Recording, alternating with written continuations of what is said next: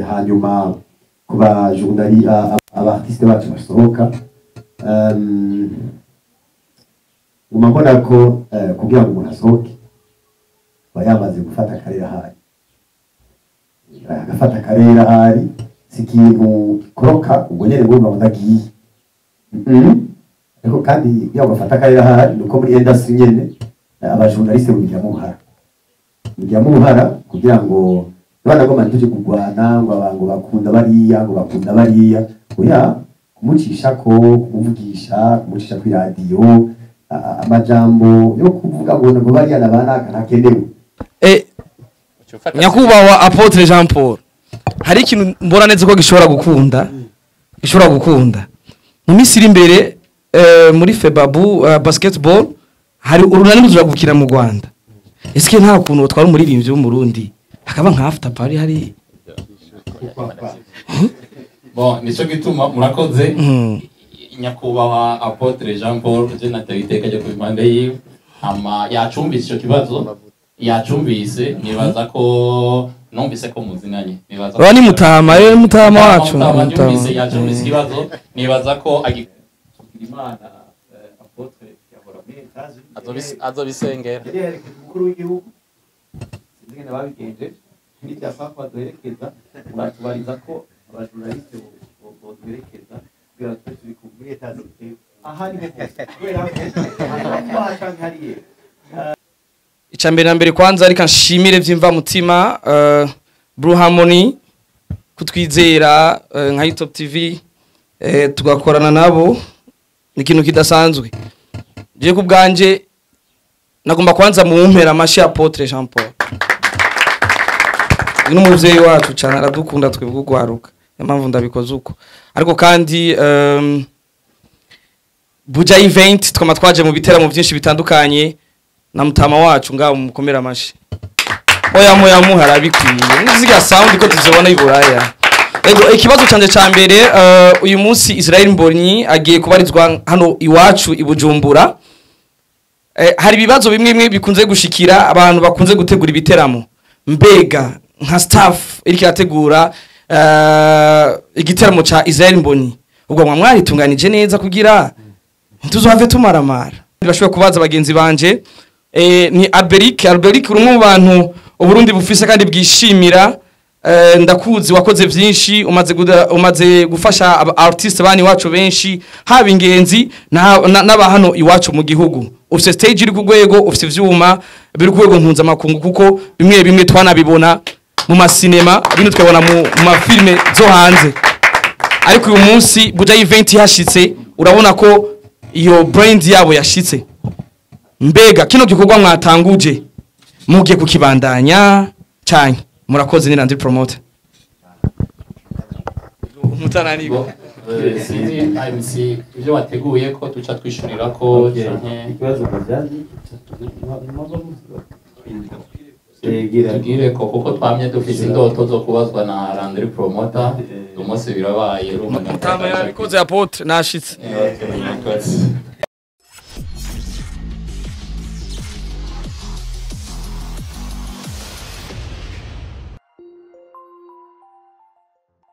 Heart of Africa present Hard Mission and Anita Silis. Muri Hard Mission tuzohasangamo bareresi bakomakomeye Fanny Lavine, Soro Aliwalipa, Chris n'abandi benshi. Anita Silis yoyo musanzwe tuyirimo. Irimo bamwe mu bihangange bakomeye mu mareresi yo gutwera ndavuze muri komedi. Tuzohasanga uwo bita Ismail Gasol. Guys, guys, guys, guys. Uraza kubona muri description link uca winjira neza neza muri The Heart of Africa. Ushobora subscribe wamukurikirana amaseri ndetse n'amaseri aryoshye cyane rwose. Ntitwigera tunanirwa kiretse iyo twigira. Street Beats, Inyenyeri hamwe na Pastor Lopez.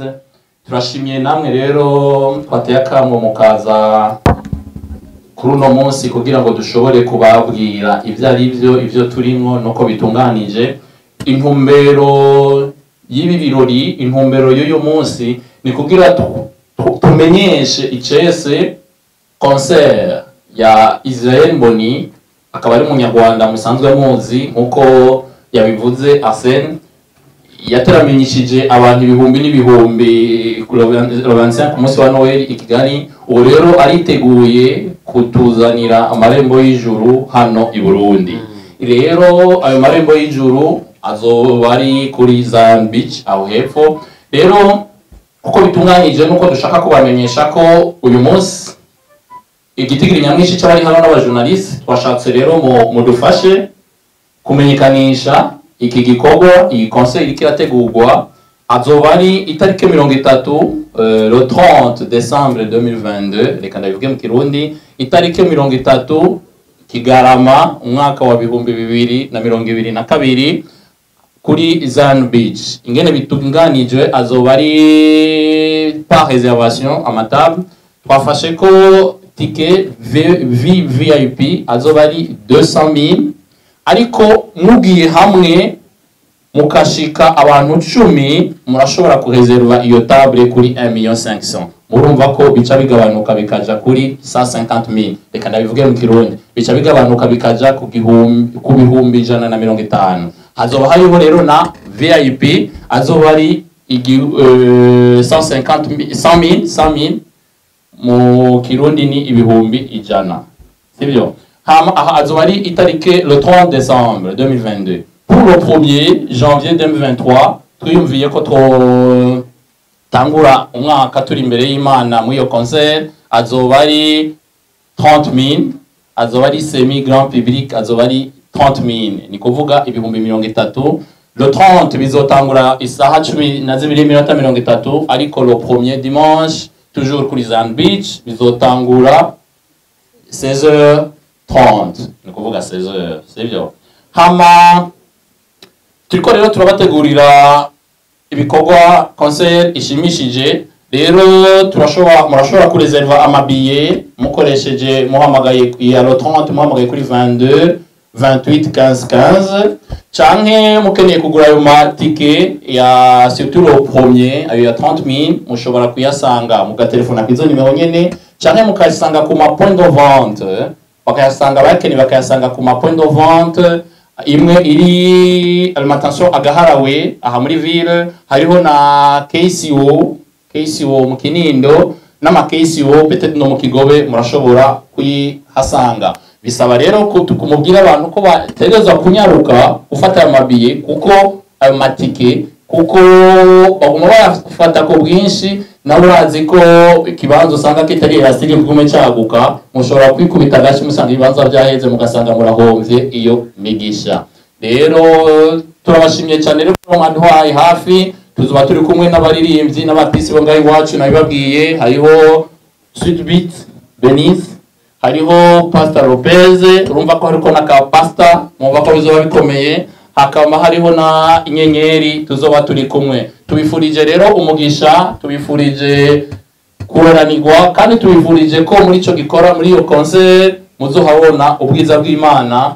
Dukeneye ko imitima ya benshi ihakirira dukeneye ko haba ihinduka impinduka mu gihugu cyacu cy'u Burundi. Intumbero y'uno munsi kwari kubamenyesha neza ibi bikorwa dutanguye se mu gifaransa novyita ko ari lancement officiel y'izi concert. Hama tuzoca tugira rero iyindi conference de presse probablement ejo canke jeudi na Israel Mboni n'aba bandi badushigikiye batisi bari ngaha kugira twese tumvyumve kumwe mwumve ko yanashitse ko yageze ku marembo y'ubujumbura murakoze cyane. Neza cyane rwose perezida wa komite d'organisation y'ijipe muramumenyereye muri entertainment. Ego ndabona yuko turi kumwe na derike turi kumwe na apote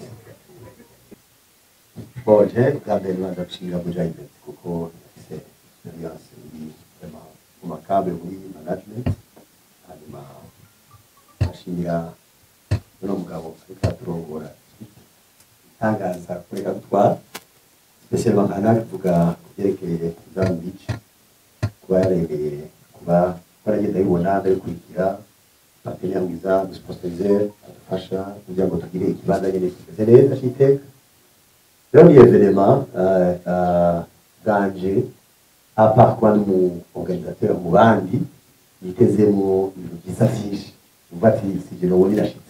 ya nawe ku bwanje nyene ava yuko fata ko ntari muri evenema novuga nti noba wa mbere nanje kubamo hanyuma igira kabiri ni evenema ariko ndaraba abayirimwo n'abajournaliste bitavye bifuza ko hoboneka impinduka muri management muri organisation ubutunganywa kira karite bitangwa mu kirere eh, cy'ubujumbura ndetse no mu marembo y'ubujumbura eh, kugira ngo abantu nyine bashobore kuronka ibintu bimeze neza.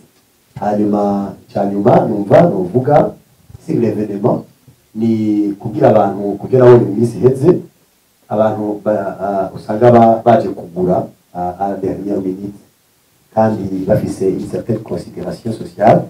Mu nyuma kubera mutabishyize mu nteguro hakiri kare ugasanga by'ukuri iyo protocole ikozwe uko yabiza gukorwa hakiri kare. Jewe eh, kubera muhaye mikoro umwe bababwira ko reverema mu Burundi yarahindutse yarahindutse abantu basigaye babihurumbira hakiri kare abantu bakarezeva hakiri kare ku buryo uvuze dernière minute ushobora gusanga bafashe ikibanza utabwirizwa gufata alors les contacts babahaye bozikorera ko cyane kugira ngo umuntu wese ahabwe itekwa ahabereye ikibanza abereye umwanya aberewe kugira ngo ntihagire akantu kamwe kononekara murakoze nuko turashimye cyane rwose kumburegera n'abandi baparteneri bumwigira ibyo bikabanda iryoha aberike ukoze muri mu buhinga bw'ivyuma ariko ubunye wakubise organisation kataraboneka iritegura igeze tubashimiye abantu baje kudushigikira abajournaliste ba- bitabye buno butumire twabyise tripati kubera ko on se dit eh, kugira ngo eveniment neza yamera d'abord basako yumva ku hama eh, eh, twicaranye tugasangira ije nkavuga nti kuza kuba gusa kubera ko ari tripati kubera ico tugiteze ko mushaka dushaka ko mutufasha ariko numumenga tunabemera ko hazoba na after party kugira ngo dufatanye kugiranira evaluation Eh, gutyo habaye n'akantu kaba nk'agatosi bidufashe kugenda dutera imbere kandi twegurwa rero eh, kuri kote ya buja event ndashaka eh, ndabashimiye hanyuma ndanabamenyesha aho ibikorwa bi- bigeze Eh, integuro igeze kure. Petwe muri ngaha anya nuko deja sisa eh, preparative za mbere ikigira kabiri installation zatanguye uno munsi ni ku munsi wa kabiri nk'uko twabisezeranye na Zion Beach. Baratwemereye ko bashobora kudisponibiliza ikibanza hakiri kare kugira ngo imyiteguro igende neza dushaka ikintu kizoba aradene minute. Eh, tumaze kugira experience nini umwanya munini turamaze kubona mbega bibera he ikibazo kibera he rero tugize imana tukaba turiko turaparticipa muri organisation tukaba ari twebwe twiteguye biroroshe ko dushobora gukosora twa dutosi twose rero installation zatanguye ibikorwa biriko biraba hanyuma si igikorwa cyo kiraba ari kimwe gusa bifatanywa n'ibintu byinshi biriko birategurwa hirya no hino ni ukuvuga ko twarabifashe byose ama kandi tukavuga ko byose bizogenda neza rero subiye kuco mugezanje ko organisateur yavuze uh, hari ikintu citwa uh, gukora ikintu hakiri kare kubera waciteguriye uh, twebwe twotegura ibi canke biriya mugabo turakeneye ko kuri Zion Beach abasiyopena bagatangura kuja kurondera uh, novuga amameza y'umuntu yiyongerako kumva ico kibanza kitagisigaye uh, mwarabonye ko mu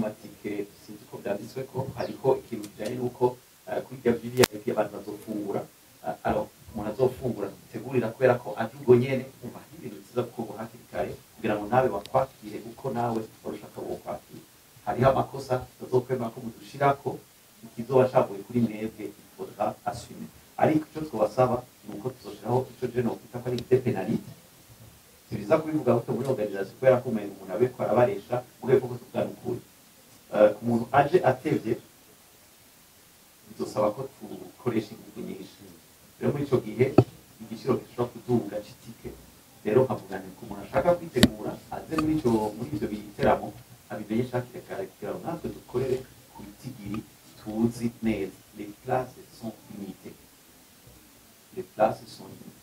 Nico nashaka kubabwira hanyuma kuturaba tumeze neza abaenjeneri b'isoma bameze neza lighting bameze bien abari muri iby'amascreen stage byose bameze neza ni ukuri igishika kandi ko turakora ibishoboka byose kugira ngo neza. Hanyuma umu artiste arashobora gushika l'artiste principal Israel Mbonyi parce que abandi bobo turi kumwe ngaha ama repetition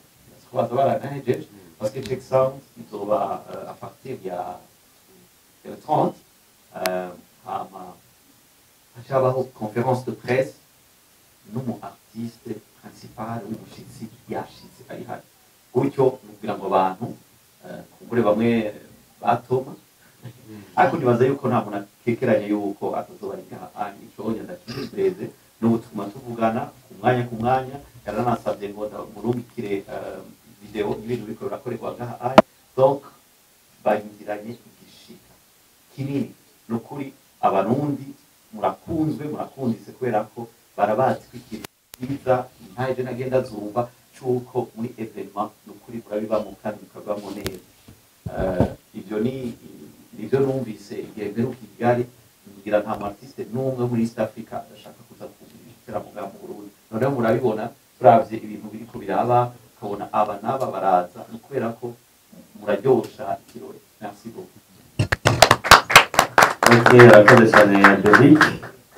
Burya turabona ibintu bisa neza Eh, eh, ikindi ba- baranyibukije aha duhagaze ngaha nk'aba organisateur babiri hariho uwundi azoza azanye na mbonyi ni ukuvuga eh, ni du côté ya management ya israel mbonyi ni ukuvuga il fait partie des organisateurs ni ukuvuga si ikintu gikorwa twese turi kumwe kugira ngo byose bigende neza hama ibindi tuzobivugana yamaze gusha ngaha kumbura n'ibyo azokwivugira wenyine Merci. turangirize rero kuri inyenyeri nabo batubwire ingana biteguye aje mbanga baje biteguye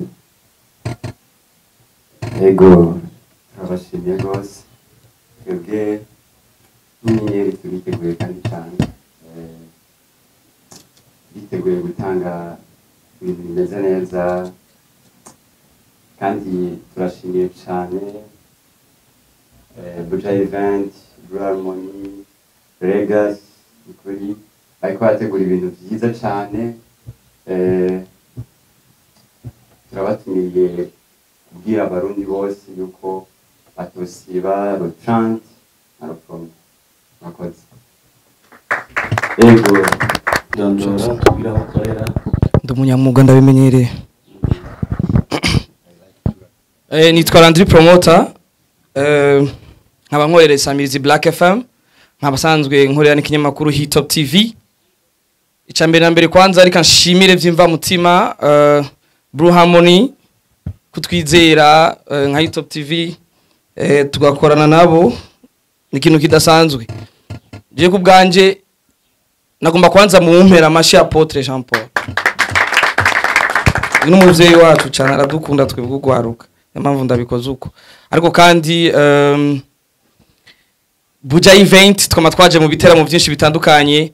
Na mutama wacu ngaho mukomera amashi oya moya muhara bikwiye niziga sound ko tuzobona iburaya ego ikibazo canje ca mbere uh, uyu munsi Israel Mbonyi agiye kubarizwa hano iwacu i Bujumbura.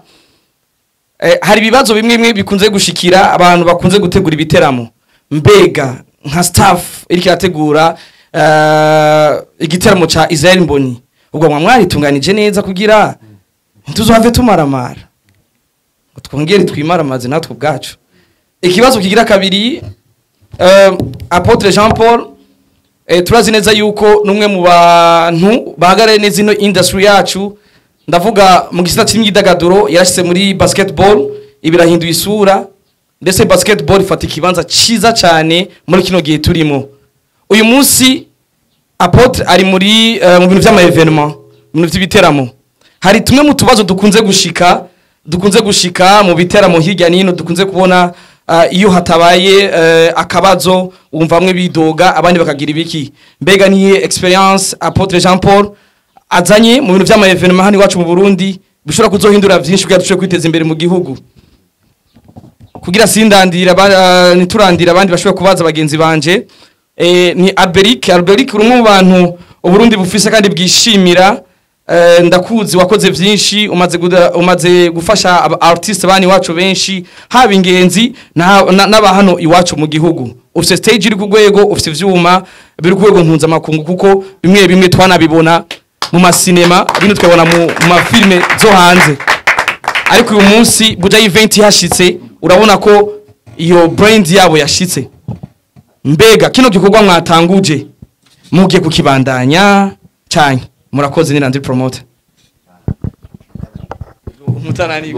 Eh, sinzi IMC ibyo wateguye ko tuca twishurira ko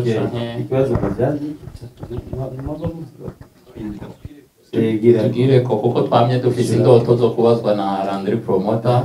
Umunsi birabaye mutama yabikoze apotre nashitse. Okay abandi nibagire ko turandika nta kibazo ngira sibyo? Ikibazo cabajijwe bwa mbere cabajijwe na Landry Promoter cabajijwe ngo mwe mbega muriteguye neza? Ku bwacu nibaza ko atakibazo. Turiteguye. Turiteguye. Mu makote yose turiteguye. Sibyo? Hama ni kiki Jean Paul azanye muri evenementiel? Nico mugiye kubona le 30 na le 1er niko nibaza. Ya niko nibaza. Ama Albert iki gikorwa muzanye muzobandanya. Eh si cambere si gikorwa cambere Albert kazanye kandi si n'icyanyuma eh? Muramuzi iyo zina murarizi bavuze Alberic murumva. Ubu no muri African uvuze Alberic baramenya iryo zina icyo rishatse kuvuga. Sibyo nibaza rero ko azobandanya. Bon naba sinihenze naba niheza aranyunganira okay tubandanye. Jerome yabajije ngo kubera ko abaririmbyi batatu gusa atari bose kandi abarundi baririmba gospel ari benshi sibyo? Icyo kibazo yabajije eh, twebwe muri ntunganyo muri iyi organisation nta n'umwe twakumiye kuko twebwe objectif ni yuko twababwiye ni yuko umuririmbyi aza ni yuko tuvuga ubwo butumwa ni yuko iyo mitima ikira sibyo? Nta n'umwe twakumiye gusa babaye hafi. Kandi bumva barahamagawe muri uwo murimo sibyo? Ni nkuko n'ubundi ashobora kumva ko ahamagawe muri uwo murimo sibyo? Urumva rero nibaza ko bitotera ikibazo icyo nibaza ko bitotera ikibazo muri ekipe ntimubona eh, twakwiye kuba korabo nibaza ko icyo cya korabo tuzosubira twakibaza Israel mbonye ari ngaha nibaza ko korabo atari mbe muri igiti yigeze na Israel mbonye ibyo none aho nanjye nojya nko bazi nkavuma nko bamashi sibyo nawe ntazi kuririmba sibyo none ngo amatike ngo amatike ya VIP yose yatanguye kugurishwa. Eh amatike yatanguye kugurishwa mugabo VIP twabwiye ko par euh, réservation. Ajya ya mwakoresheje terme y'abarundi bose siyo twebwe dukoresha dukoresha semi grand public yoyo niyo twababwiye ko dushobora kuyaronka ngaha canke tukayaronka ku agaharawe canke tukayaronka kuri isiwo kinindo Ehm, guhera cet après-midi murashobora kuba hari murashobora kubwira abarundi ko bashobora kuyasanga. Edison yabajije amakenga ikibazo ah, yarafise amakenga ikibazo ca valante bimeze gute? Ntibizohava biba nk'ivya Bruce Melody. Niko natahuye. Nibaza ko atamakenga ahari. Ufise amakenga nahere uyu munsi. Sivyo? Mubabwira abarundi ko amakenga adakwiye kuhaba kuko eh, Albert kubwiwe mu ntumbero yo kugura ayo makenga yarishikiye i Kigali. Nibaza ko amafoto mwayabonye yarishikiye i Kigali baravugana. Albert ubwiwe yaravuganye na Valente. Nibaza ko ntabeshe. Amakenga bose barumvikanye barazi ko atakibazo na kimwe gihari. Nico gituma yahisemwo guhaguruka akishigira i Kigali nico gituma rero ayo makenga atobaho um, hariho igiteramo ca kabiri nicyokorerwa ahantu hiyaguye bon nibaza ko mwoshika kuri Zan Beach kugira ngo ico kibazo mvuze ntihagutse. Nibaza ko tuba tugomvye gushikuza kuko natwe kwiyumvira gushira kuri hajya ahantu nuko twabanje turavisita twabonye ko hashoboka. Sibyo? Twabonye ko hashoboka kandi tutereza gukorera ahantu en toute sécurité totale donc euh, hari hatunganye kandi turi ko biza kugenda neza. Ntituvuze ko ahandi hatari suri mugabo haragutse. Niba ari amakenga yuko hatagutse haragutse. Sibyo nibaza ko ayo makenga yohera. Abatubajije ikibazo nibaza ko bodukurikirana bakabikurikira bakareka gutera inkuru hama Patrick yabajije bon kubera iki cha Zion Beach cha ca kibanza ca baru kubera iki iki- i- i- concert ya kabiri yagiye kuri Zion Beach ari y'aba- y'abarundi twese. Ni Patrick okay Zan Beach tubasi nongere ko akandi kantu. Zan no yarashatse gusponsoriza iyi evenement. Donc rero mwumve ko nawe ari muba basponsorije evenement. Urumva yarumvise umuhamagaro w'iki gikorwa arashaka gukiza imitima y'abarundi rega nawe. Nico gituma yahisemo gushyigikira uyu murimo sivyo none mbega hariho abajournaliste rero none mbega bari ngaha bose ngo bazinjira ngo bazinjira kuri gusa iki bon hariho liste twashirikirishije dabo yo kumenya abari bari ngaha hama ico kibazo tujokigira muri komite indani twumve feasibilité mm, feasibilité twumve ingene twogikora ico gikorwa sivyo none nibaza ko inyishu itomoye abarundi bazohungukira iki? Deja bamaze kunguka. Mpwemu ariko araje kageze ku marembo nk'uko nababwiye. Mpwemu ageze ku marembo bazunguka uko iyo mitima izoruhuka iyo mitima ashaka numvirije indirimbo ya mbonyi. Imwe hari ikintu muri jewe numva gihindutse rero kubona twiyempise kubona twishize indani bw'igikorwa tugikore ni uko tuzi ko niba bihindura imitima yacu hari imitima y'abarundi izohinduka nayone hari imitima y'abarundi hari ibibazo bya abarundi twaciyemo invi- individuellement umwe umwe. Byagiye bimukora ko uburyo buna buriya ariko niyumva ah, mpwemu yera yamanutse ashobora kuruhuka kandi agategura neza umwaka wa 2023 ni cyo gituma twiteze ko abarundi ubwabo bazoruhuka kandi n'igihugu kizokunguka mu buryo ubu. Canke buriya na le fait que Israel Mbonyi aje mu Burundi. Isi yose ikabimenya eh uburundi rega burahungukiye kuko uburundi bubaye nyabagendwa. Sibyo none? None wumva uburundi butungutse rero uburundi buzokungurwa mu mpande zose. Uburundi buzokunguka. Ama amikoro y'abarundi ni make ni byo cyane amikoro y'abarundi ni make turabizi. Kandi turakenera kurondera uwo mwuka wera natwe. Naho imikoro ari mikeyi turakeneye kuruhuka iyo mitima. Nicyo gituma rero twasabye twahisemo kubigira uko. Kubera urumva israel mbonye kugira ashike urumva urazi ko preparation murabizi ko ubu bisaba uburyo. Rero twahisemo kubigira uko kandi twabonye ko Albert kaza kunkompleta nambwiye kaza kunkompleta. Twabonye ko twobigira uko. Mbona yabajije ati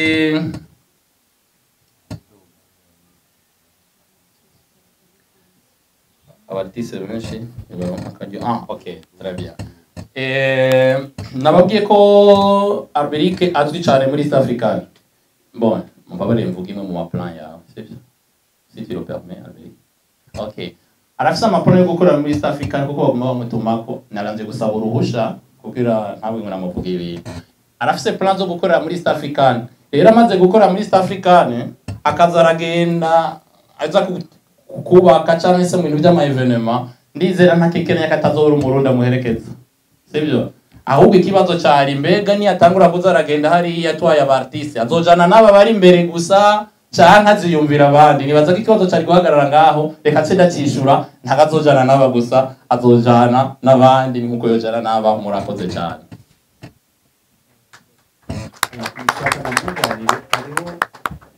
eh, ikibazo mwabagize ngo amikoro y'abarundi ni mato eh, nivyo birashoboka ko ayo mafaranga ashobora kuba ari menshi kandi ndabitahura ariko kugira umuntu ategura igikorwa nk'iki bisaba uburyo bwinshi bisaba uburyo bwinshi bisaba kwitanga bidasanzwe ariko atari twebwe twagiye hamwe kumbure tukaronka n'umwe ashobora kubana natwe nta muntu wundi n'umwe araboneka ashobora gushyigikira kino gikorwa wumve ko eh, iyo ibintu biriko birakorwa ata eh, zindi ngufu zivuye ahandi byumvikana ko abariko bara- baraza muri ico gikorwa nibo bazosponsoriza iyo evenement rero sindayifata ko iyo ari payement ije isanzwe ahubwo ni kugira ngo habe gushigikira ico gikorwa.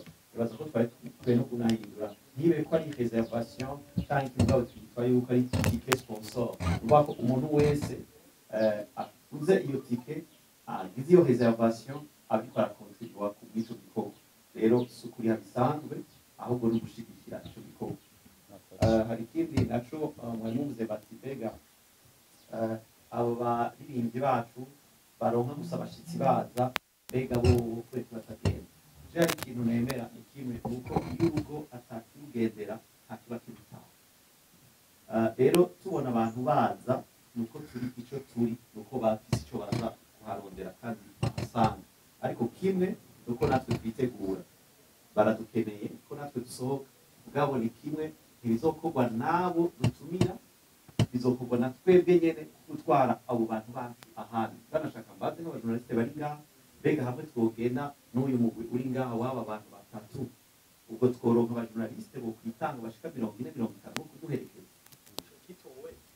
je nibaza rero rendez-vous nibaza ko ari kera hazoba ari muri 2024 il faut que natwe dusohoke donc ibyo namwe muvyitegurire eh, tugira imana eh, apotre yahora muri etaje Azobis- azobisengera yari yaherekeje umukuru w'igihugu sinzi ngene babigenje n'ibyapa baduherekeza muratubariza ko abajournaliste bo- bo- boduherekeza kugira ngo tube turi ku muri etaje aha ni ho hose kubera ko ahantu haha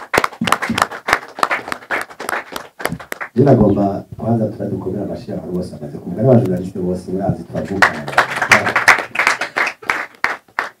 mbere narabwira ariko atwubuza yuko iyo igihugu kidafise media ntaco kiba gifise kandi na twebwe twiga mwebwe mutabishizemo uruhara aho twogera mwavuze yashikirije ati mbega uburundi buzokunguka iki nawe ntari umuvugizi kubona premièrement kuba twiga iyi ni inyungu ikomeye cyane kuko eh, abantu bose bariko barakora amaradiyo amateleviziyo kaza kuronka inkuru. Inkuru deja ni umuntu ukunguka. Kabiri naravye kuri site officielle ya ministère de l'intérieur berekana ko mino minsi mikuru abantu bava hanze. Ivyo navyo ni amadividende de la paix aho usanga hari amahoro ibi kandi umuntu aramukanya aragura arabona ashobora no kuzamo abainvestisseur bazi uko nyene rero nibaza ko ari akaryo keza ko kurata igihugu cacu. Mbere saba umuntu wese azokora ntazakore ibintu byaciraho ngo avuge ibyo ashaka kuvuga byose ahubwo azavuge ibitera igihugu teka maze igihugu cacu kigashinga icumu mu mashinga ico cyari cyo cyumviro numva no noshikiriza. Eh, hanyuma ku bajournali abartiste bacu basohoka um, nguma mbona ko uh, kugira ngo umuntu asohoke aba yamaze gufata akarere ahari agafata akarere ahari si ikintu koroka ubwo nyine bumva ngo ndagiye Mhm. ariko kandi kugira ngo afate akarere ahari ni uko muri industry nyene eh, abajournaliste babigiramo uruhara babigiramo uruhara kugira ngo abana bagomba ntituje kurwana ngo abantu bakunda bariya ngo bakunda bariya. Oya kumucisha ko kumuvugisha kumucisha kuri radiyo amajambo yo kuvuga ngo ngo bariya na banaka ntakenewe cyo kwigera mu mengo mwebwe nyine ndiko batwumviriza dukuze abandi abandi nabo bateguye bategwa iteka kuja event amoni n'abandi bose babijejwe ari mu journaliste bareke kumumaramaza ngo bamutegurire ibi na biriya. Ama n'abajournaliste nabo nyene pardon abaririmbyi bapfuye gukora ama evenema yose mu rwari ama evenema gutegura evenema n'indirimbo z'iteka. Bana ngo urumva ngo nawe indirimbo ayitware muri icyo ashaka. Urumva hari ibintu by'amasitandari rero tugeze aho duhiganwa bishyize kuri youtube bararaba hari ukuntu bayipromotinga etc bivanye na karibe bashyitseko kugira ngo ibintu bigende neza. Icyanyuma byo rwanda bashikiriza kuri bino byavuzwe ahubwo n'ukuntu mbona ko konseri yamaze kugenda neza. Ni ibibazo ah, birimo umutuzo birimo nyene nyene nyuma y'amarembo y'ijuru sinzi ko ari indirimbo n'imwe nzi yiwe bavuga ngo abagabo barawutana. Njye mbona ko kabisa hariho amavuta aha hantu nta kibazo ki- giteye ubwoba gihari ahubwo je yavyo kunda ari gusaba abamenyesha amakuru muri ngaha ko mutangwa kwiposta ubu nyene konseri bambi inoze yaheze nyene vyakabaye ifo ko tugenda tukabwira abo bantu hanyuma nawe yabasabye ati none rubanda nyamwinshi ni ukuri yaba ari jewe mu minsi iri imbere je proposerais que umva ya eh, urumva nta rubanda nyamwinshi ihari urashobora kuba uri umumiliyarderi ugahitamo kugenda ukigira ahantu kanaka hari n'igihe ushaka kura- kurabira kure bi- biravana n'amashwara none bwati uyu munsi nkeneye naragize ama ekonomi je vais avec ma famille kuja hamwe. Nakujya ko mu ndege uno gusa ashobora muri economique ukagenda muri business class ukabigira. Mugabo dimwe ibiciro abavyumviriye bavyumviye avec un intérêt particulier yo guparozera kubaha ikintu gifise standard gifise iteka ishobora kubahwa ikubahisha abarimwo ikubahisha abaje ikubahisha abaje kurorera bakamuha imanje abereye mbere bigatera iteka igihugu. Mugore mwashaka ko tugenda uri nyarwatsi ntashobora kugenda ahantu bakoma amashi ubwo twotumira uyu ntashobora kuza twotumira aba ntashobora kuza tukaba duhindura karibre na forme ya concert na tuyihindura alors ikintu cose gifise standard yacu. Ntanasambere yuko abantu bakumva ngo birazimvye ntibizimvye kandi abarundi je nimuserukire amikoro yanje nimuyazi ko nimwambagije ntitwabaziranije kuko urabizi nyene amikoro y'abantu aratandukanye. Nabibonye turiko turakorana na buja event kuri heruka twarakoranye. Sold out yabaye midi c'était fini. Iza bagiye saa cinquante mille c'était fini. Bakaturondera abana baje mu nyuma. Ni ukuri twaramaramaye kubona umuntu azana amafaranga mu ntoke e million sex bakaba bamushira kandi utungutse itara jardin public itarahera ngavuga ati no ihagarire ngaha habwiza kuboneka iteka abantu boganiza ntituri after money turi after success no gukora ikintu kimeze neza iteka abantu niba dushaka ko tuvuga ngo abantu bose nibaze nibaze nibaze nibaze agacaza abantu 5000 yubuze kwicara akantu 6 usanga abantu bose barahagaze si byiza rero amakosa twakoze twarayabonye dushaka ko asubira kuboneka dushaka iteka hirya y'ejo tuzane darlene ngaha tuzane bande tuzane bariya bahariya bo muri zande murabyumva namwe. Bamwe baza bakamara umwanya ngaha kugira ngo bigende dukurikije cya kintu ngo turi kumwe twese birashoboka. Tugenda bikata mbere yuko mbere yuko turangiza sinoniganwa ijambo Arsene ntizakamiko iyo a- ndi mu rugo je ndi muhira. Eh, ndi muhira. Eh nyakubahwa Apotre Jean Paul. Hari ikintu mbona neza ko gishobora gukunda? Gishobora gukunda. Mu minsi iri imbere eh, muri Febabu uh, basketball hari urunani ruzura gukina mu Rwanda. Ese nta kuntu utwara umuririmbyi w'umurundi hakaba nka after party hari bon ni cyo gituma murakoze. Mm. nyakubahwa apotre jean paul je nateye iteka ryo ku impande yiwe hama yacumbise icyo kibazo. Yacumbise nibaza ko numvise ko muzinanye nibaza Aba ni Mutama, eh, Mutama wacu, Mutama, yacumbise Eh. ikibazo nibaza ko agikorera ko murakoze. Ego